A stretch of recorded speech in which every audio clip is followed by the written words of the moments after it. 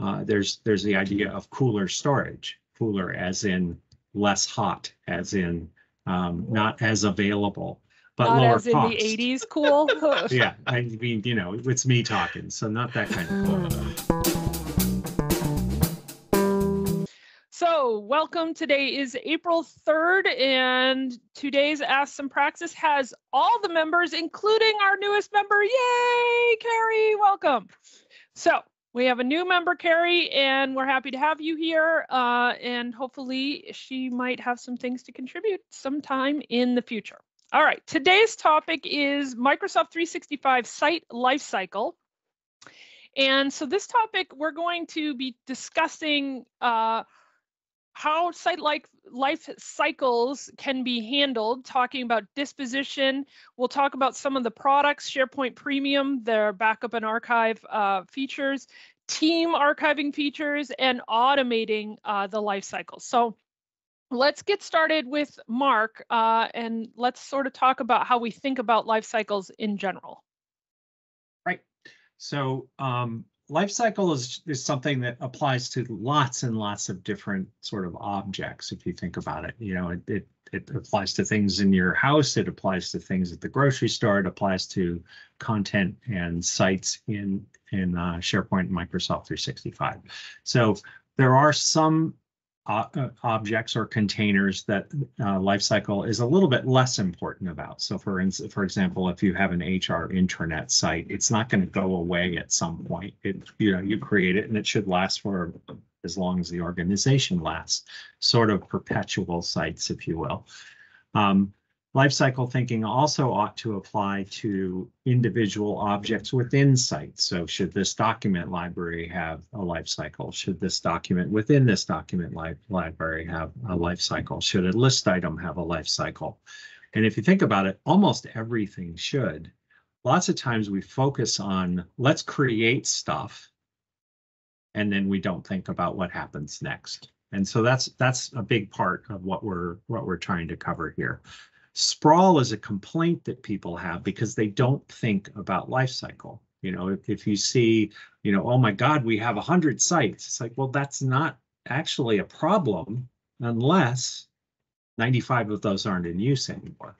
You know, so so that oftentimes the the fact that there's sprawl is is considered a problem, but it's not if all of those sites are active and they're providing value and people are becoming more effective or efficient. The the picture on this slide is from our management of content competency in the in the maturity model for Microsoft 365. And I, I added it to the slide because this is the kind of thing that we think about. You know, within a team site, you create content, you iterate, you review, you publish, and and so that's a life cycle and you have to think about how a life cycle like that might apply to the sites that you have within your tenant um, greg mentioned that he wishes that teams would change delete to archive because users are deleting teams. Isn't there correct me if i'm wrong but doesn't when you delete a team doesn't it like say hey you sure you want to delete this? So it feels a little extra from those those users but i i hear that you do get a warning but yeah i um, think so. yeah and and this the underlying site does go into the deleted sites recycle bin though they don't call it that for 30 days at least. So you you do have a, a fallback. You know you can save yourself. Yes Derek, why are you raising your hand? That's weird. I pushed the button by mistake. don't push the button derek. Don't. We always say don't push the button. Like, especially mark don't press the big leave button today. Hmm, Uh, that button is just it's so big and red and so up there in the right corner. Yeah you know you want to hit it uh But Casper casper a question too. Casper yeah, can raise our- his hand. I can't. Arch- archive of teams that's still there. I just used it the other day. Unless it's going away that might be the case. We're going to actually even talk about it so. Uh oh ruth does the microsoft 365 group get restored? If the site is restored yes it does ruth. So everything comes back to life. Thank you god. Um sort of amazing that that works it is a it little bit amazing i have to agree so maturity well casper do you are you playing now with the button Casper? No, no, a- actually, I, I just, I, I had an, an issue with, the- with the archive functionality being sort of like hidden away from, from Teams, because if you can archive a channel, which is uh, Mhm. on the roadmap right now coming out, if you can do that, but you can't archive a site, a team, but you can Mm. delete it as a, as an owner, that makes zero sense in, in, in my mind that you can do a destructive action, but you can't just store it. So Oh, I see where you're going. So you're more discussing like it's not gone, it's just hidden deeply or not super visible. Yeah, that that I agree with you. Like archive should be sort of front and center over delete for sure. Um, delete being so destructive. Um, I totally agree with that. All right, Mark. Maturity So, model. We're going to apply a maturity model as we. Well, always there's always something in maturity model here. So, Yeah. you know, if if you think about it, um, you know, a lot of organizations are just, gee, we have a lot of sites. What do we do about that? You know, they don't even know how to. How do we deal? How do we think? Um, next level up might be, you know, you've got some manual management of site life cycles on an irregular basis. Like, you know, huh, that looks like it hasn't been used in a while. I'll ask Bob if he still if he still needs it, but it but it's sort of more of an ad hoc thing. Um, at level 300, more established organizations probably have a, a clearer, you know, I want I have a site request form or process. I provision things based on what the the need for the site is, what it should, how it should be structured, what people are going to do with it, and based on that kind of site, we think about how we can retire it. Retirement meaning, you know, uh, you know what I'll talk about on the next slide. Actually, I will talk about disposition on the next slide.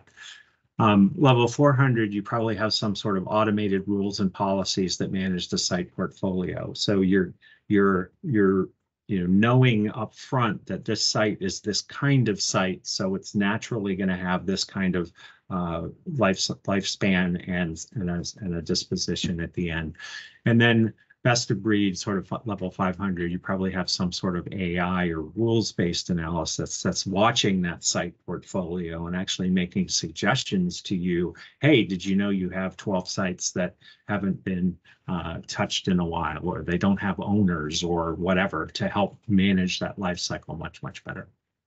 Yeah, and we're going to go in a little bit more on that level 500 stuff towards the end, but I sort of wanted to also add at level 100, there's a lot of nobody thinks about it until they run out of space and have to buy more space and then they kind of freak out about the um, we have lots of sites. It's not really that you have lots of sites that anybody particularly cares about. It's more like hey we have a lot of content and thereby we've used up the storage allocated to us and now we would have to buy more and it's pretty expensive. So having sort of if you know that you're going to be provisioning a lot of sites to maybe handle projects or whatever, having a plan, you don't necessarily have to have a plan for day one, but having a plan for how you're going to manage that content going forward is probably useful. It's actually interesting. I've talked to a lot of admins over the years who are just irked that there are so many sites. It's not about Yeah. storage at all. They just they they feel like well people are using this too much. It's I mean eh. that they don't say it that way, but it's like we just have too many. And it's it's I like think this that's just exi- admin phobia. Existential. It's like this Well, existential No, angst, Todd, you right? don't get it's to that speak. sprawl thing.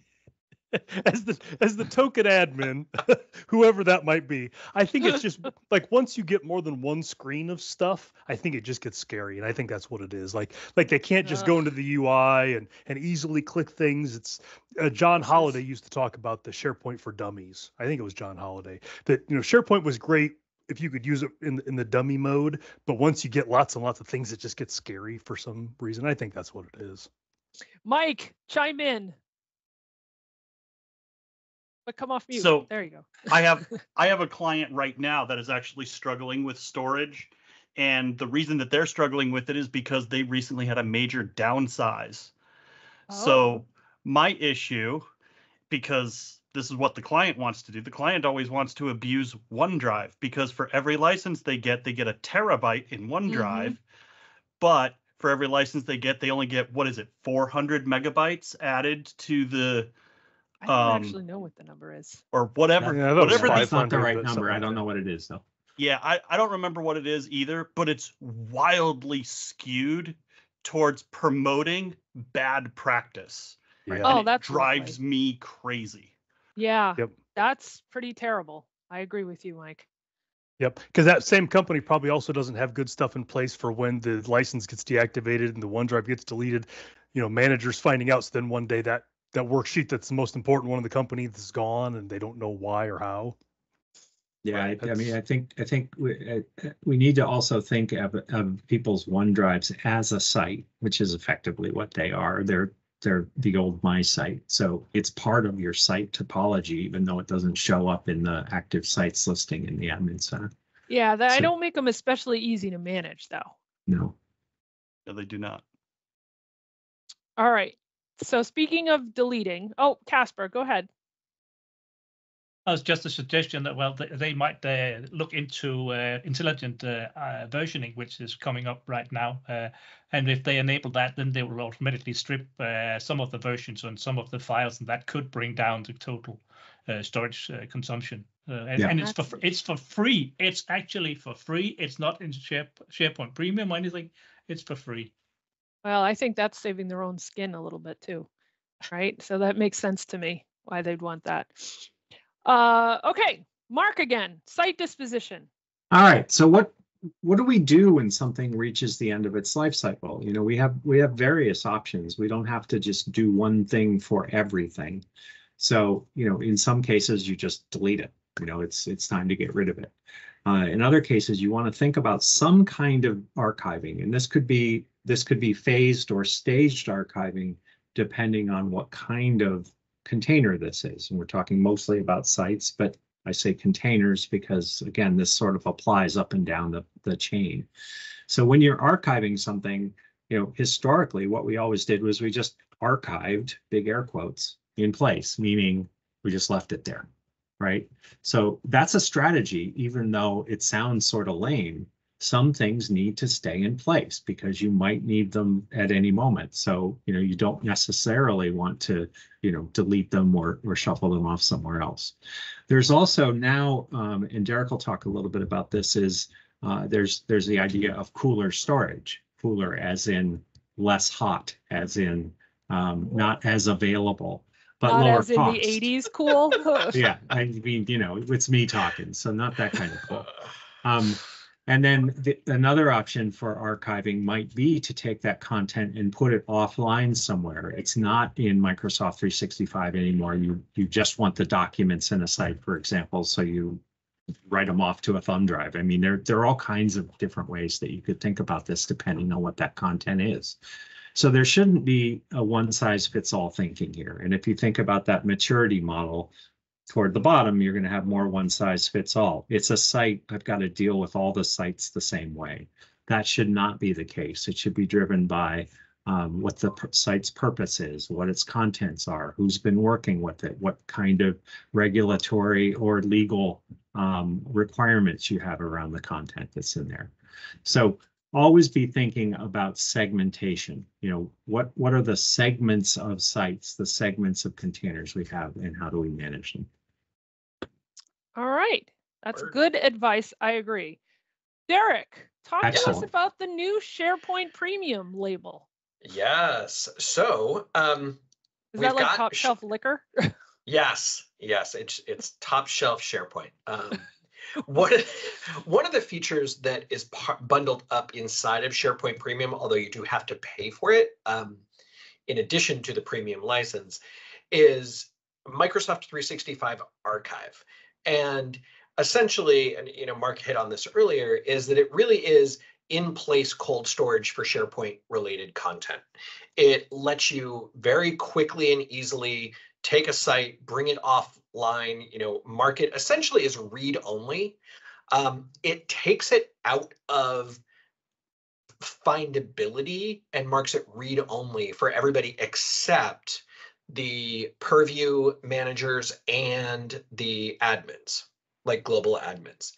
Um, that's a really good thing because it means all the content is still governed by your retention policies, your sensitivity labels, e-discovery, it's all of that. So you can still go back and get access to that data. It's a really good thing for folks that um, I know we have a lot of a lot of clients that are sort of hesitant to delete stuff because they may need it for regulatory reasons. Some auditor may come back, blah, blah, blah. Like there's, and so they end up sitting on terabytes and terabytes of data just in case. And this is a really good option for that. Um, I added a picture here. Um, this is the active site screen. So it's very simple. You can click on an item and you can archive it. Um, and then you can get a listing of all of those sites that are archived and restore them. Um, it is pay as you go. And one of the things that I thought was interesting was that it is pay as you go, but only after you've hit your quota. So if you're, you know, if you haven't hit your quota yet, and you can, and you're paying for SharePoint Premium, you can archive sites. And until you hit that quota, you're not paying for anything. I would venture a guess. Uh, there are actually there is a there is a charge for the storage, which at, on the on the preview site it's five cents per gigabyte, but there is a charge to restore. So it's 0.5 gigabytes or 0.5 or five cents a gigabyte to just hang on to it. It's 60 cents a gigabyte to restore it. So if you need to get it back, that's problematic uh, or at least more costly. A couple of things to think about with this. Um, number one is if you are using M365 backup, um, you can't archive a site that's assigned for backup. Oh, that's a good- And as far as I can tell, this is only storing the share, doing the SharePoint data. If you archive a SharePoint site that is the backend for Teams, you're losing your Teams chat, you're losing all of that kind of stuff. Yeah. Um, last thing on this is that this is being right now, this is in uh, public preview. And I believe it is a paid preview, although I did not click the link to find out. Um, there's a link to it on in the resources. So if you are interested, you can check it out. The roadmap says it's supposed to roll out, start rolling out to GA this month or last month. So, but the item hasn't been updated yet. Hasn't been updated in a while. So we'll see when it actually goes GA. Cool. Good details. All right. do- So we go ahead, and Mark. I think, I, I think maybe you said something, but the, uh, the recovery fee doesn't kick in for thirty days, like if you archive something by accident. Nope, you say that? it's it's not 30 days. It is seven, Seven. I did not say Okay, that. Sorry, but it is Sorry. yeah. You get Because a it was seven day wrong. grace period. Yeah. But that, that- it, it makes it a li- little bit less scary to hit that button because Yeah. you can actually bring it back within seven days. Yeah. Yeah. and I mean, it may not be that big of a hit. I think the bigger issue is if you're gonna constantly, if you're using it as like a stopgap and you're constantly archiving and restoring, archiving, restoring, archiving, restoring, that's when it's really gonna hit you pretty hard. Yeah. So yeah. The one thing on that, Julia, that I that I noticed is reading the fine print. If you need to like export or download all the documents for e-discovery, you have to restore all of the sites that you need to get the data from. oh. So Yeah, that So- could be pretty costly. But if Yeah. you're if you need e-discovery, you're probably in costly zone anyway. So maybe not. Maybe good not. point. Not your Right. biggest concern. at that Not your biggest concern at that point. Okay, so we were talking about archiving a team a little bit earlier. Essentially, what archiving a team does is it makes the team read only. So uh, you can still add and remove members, and uh, private channels are also affected. So just know that. Uh, SharePoint is also effective affected, excuse me, if you check the box. So if you look at the screenshot I put on the right, when you go and pick archive, it gives you this, you know, warning that it's freezing activity or everything, and then you can check the box that says make the SharePoint site read only for team members as well. And then it's temporarily hidden in the hidden team section, and then sometime that it didn't allude to, it moves from being in the hidden team section to an archive team sections, and this is in the Teams Explorer on the left-hand side of uh, your Teams app. So that is what archiving a team means. Okay. Uh, automation. So this is where we sort of can talk about that level 500 type of maturity for uh, your solution. So we have a couple of things. I put roll your own first. And so the idea behind this is that you could create scripting or timer jobs and based on some metadata somewhere, which could be SharePoint lists, external systems, uh, lots of other metadata that's on the sites, groups, etc., you could automate archiving. And so there is a handy little feature in ShareGate called export, which is a PowerShell command. So as an admin, somebody who wants to script things, you could use that export uh, solution to export the content from your SharePoint site into um, basically a file folder. So the documents go in folders and the um, list data goes into Excel uh, files. And so then you're essentially archiving that content. Um, similar to that, once you do that, and if you're running, writing sort of admin type scripts, you can move that content into more let's say le- more cost effective cold storage or very cold storage by using Azure storage which has three levels of archiving sort of that costs even less than the SharePoint uh, storage. So if you're more mature, you are a bigger organization with a lot more content to archive, maybe rolling your own or coming up with some sort of archiving solution like that would be useful. Now, granted, by doing that, you do not maintain the uh, you know e-discovery retention labels and all of that kind of stuff that you might be using in your tenant. So you have to make a very thoughtful decision about what can be archived by actually getting it out of your tenant versus what needs to sort of be discoverable by SharePoint, right? And again, you could do other things to sort of mitigate that, but now you're really, you know, you're reaching high for uh, automation. And the other thing I want to bring up is Orchestry, which is one of our partners that we talk about pretty frequently, uh, has an entire lifecycle management feature built into their platform. It's part of their uh, standard offering. And what it does, it, in general, it's based off of inactivity. And maybe that is not the way that you would uh, consider something needing to be archived or not, but there is a way because they hook they give you hooks into uh, everything that you could have your own sort of this is sort of a, a combination of roll your own and orchestry by creating timer jobs or whatever that trigger off of external you know type of information something else a sharepoint list a sql server database some third party system that triggers archiving and then you can trigger a, our, a lifecycle policy to be applied to that site in Orchestry, and then Orchestry will will execute the archive policy. And so there are there are archive policies. You can create an archive policy for Teams, SharePoint, and Viva Engage. It uh, archives both uh, all documents and lists, very similar to the ShareGate export uh, feature, but also will export uh, and archive Teams channel post, which was a pretty big value add in my opinion. That's that's a pretty that you know because we were talking about SharePoint archive is only the SharePoint site. This is actually giving you some team stuff as well. Um, so I I mentioned that they have these HTTP inter integrations so that you can when an archive is complete you can trigger uh, uh, an HTTP endpoint to do additional work if you need to. And of course, you have notifications and approvals for those uh, policies if you want to, um, or if that makes sense for you.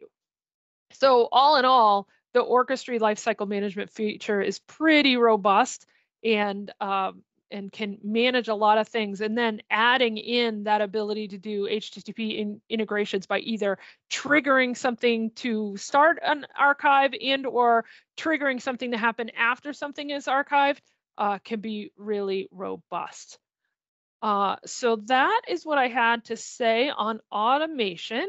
And so moving forward, we have a bunch of resources. We have um, a link for a maturity model, uh, a link for the Microsoft 365 archive. So getting started on that and an overview of that archive in preview. Uh, archiving and deleting a team in Microsoft Teams and an, a, a link to the export site PowerShell command, as well as a link to Orchestry. Uh, so if you have any interest in any of those, you can check it out. Do we have any questions in the chat that I should address? I haven't been reading since I've been talking. I'd be interested to hear how people who have joined us are thinking about lifecycle management in their organizations? Are, are there other approaches that you're taking that we haven't talked about? Yeah, we do have a few minutes if anybody wants to come off mute. I'll leave us on, well, actually, you can navigate yourself, so I'll stop at our last slide. If anybody had anything they wanted to add, we do have a few minutes. Oop, Casper. That's just this. This is just my my bread and butter. So, so I of course have have delved uh, into this uh, quite a lot, and also the, the the the idea that we can strip down the the file versions. People are over uh, haven't really paid attention to that one for a while, and I hope that we'll see Microsoft kind of take the approach for both for for team channels and for teams and for SharePoint sites that we can build in this the option to actually use this um, Microsoft 365 archive functionality if that is of course enabled on your tenant. It might not be. So so i hope that we'll see some some development on that uh, on that part uh, pretty soon i hope because but both all of the products are there so they just need to integrate them. Yeah, and the SharePoint, uh, the ShareGate export command allows you to strip off versioning, and I believe Orchestries does too. Uh, Mike, I think you had your hand up first. Go. Yeah, so uh, th- we're, we've we've got yet again the uh, the jacked up way to do it, which is to back everything up in Veeam and then just delete it from the SharePoint tenant and uh, recover from Veeam as needed. Hmm. Interesting. It's it's not Yeah, it's actually how I'd recommend doing it, but it saves a lot of money on storage. And some of the backup providers, they're, I mean, you can restore whole sites down to individual documents from a particular time frame. I mean, it, that, that traditional approach is, is actually pretty mature, I think. But it's very much an admin focused. I mean, you know, an end user can't really do much about that. They have to ask No. you to do it. I don't think end users can do much about many of the things, although the Yeah. archive feature, that's true. The archive feature, the user can press the button. So, although that makes me now a little scared thinking about it because that 60 Wait a cent minute. thing, back and forth and back and forth. And they're like, what do you mean? I, th- I thought I could do this every single day. Uh, You know, thousand dollars later. Steve, what do you have to add to our discussion? Well, I have a I have a question about ShareGate's management um, web-based program because they provide an archive, and I was wondering if anybody had any experience using that. Yeah, I think I'm talking about the export command that I don't think they call it archive. I think they call it export. And that was the PowerShell command that I was talking about. But you can also do that from the UI. There's an export command in the ShareGate UI that does the same thing. It's the user's ability or, or the ShareGate user's ability to do the same thing. Right. Both both ShareGate and Orchestry have built their own uh, archiving capability that that is separate from what SharePoint Premium is doing. So different cost impact there as well. Okay, that's great. I didn't know the export command was um, the same as the the the UI. It Mhm. seemed like they I haven't I haven't looked into it for a while, but it seems like they also had a a tiered approach where it was available for restore within 30 days, and then after that you had to um, you know it wasn't as avail- uh, available. Oh, But I that I don't they did. I think that's a choice. Um, uh, sort of it, it, it's it's um um blah, blah, blah. I believe it's sort of that stage thing where you know you might want something to be archived in place and then archived a little more permanently and then archived a lot. You know, so over Right, okay. time you would you would uh, vary where that content actually ends up. No, They'll I think probably with, just make it read only, right? Oh, sorry, go ahead. I, I can talk about ShareGate because I know them pretty well. No, I think with ShareGate, Steve, you can get it back whenever you want. Um, one of the things to consider though is that when it does the archival and either it goes into their Azure storage or you can configure it into your Azure storage as well, it is encrypted. And the Yeah. only way you can unarchive it is you still need um, a ShareGate license Ah, for it. So Yeah. that's something that's in the fine print. But apart from that, they do an awesome job. Um, so you can choose to either have them store it for European customers. It is stored within a within a US data center. You don't have any choice, but you can also hook up your own Azure storage, which is super easy to do um, a- a- around that as well. But they do a good job. It, it's it's definitely awesome. And you're right, that's Judy. It's the the same command PowerShell versus doing it through the UI. You get the same thing. That's Same- what I same- same thought. result. Yeah, so helpful, for the thank you. most part, the PowerShell and ShareGate just creates jobs the same way the UI does. So if you do a copy command in Share in PowerShell, you can watch it in the UI because it's just submitting jobs to the same engine. Yeah. Very cool. Good to know too. Thanks. Awesome. Well, we are at time. Uh, our next episode, April 17th, is going to be page layouts and talking about building great home pages. And as always, next week I am at the North American Cloud and Collaboration Summit. Uh, so, and I'll look to see, say hello to anybody who's there. Uh, the uh, Orlando event, Carrie, Derek, and myself will be there. And then European Collaboration Summit, Derek and I and TechCon 365 in Seattle is Derek. So please say hello to us if you are at any of those events or use our discount codes to join us. And with that, I say thank you everyone for joining us. Have a great rest of your day, and we'll see you next time. Thank you so much for joining us this week on Ask Sympraxis. We love getting your questions or session ideas. You can submit by using the link in About. If you find this helpful, hit that like or subscribe button and share this content with your colleagues.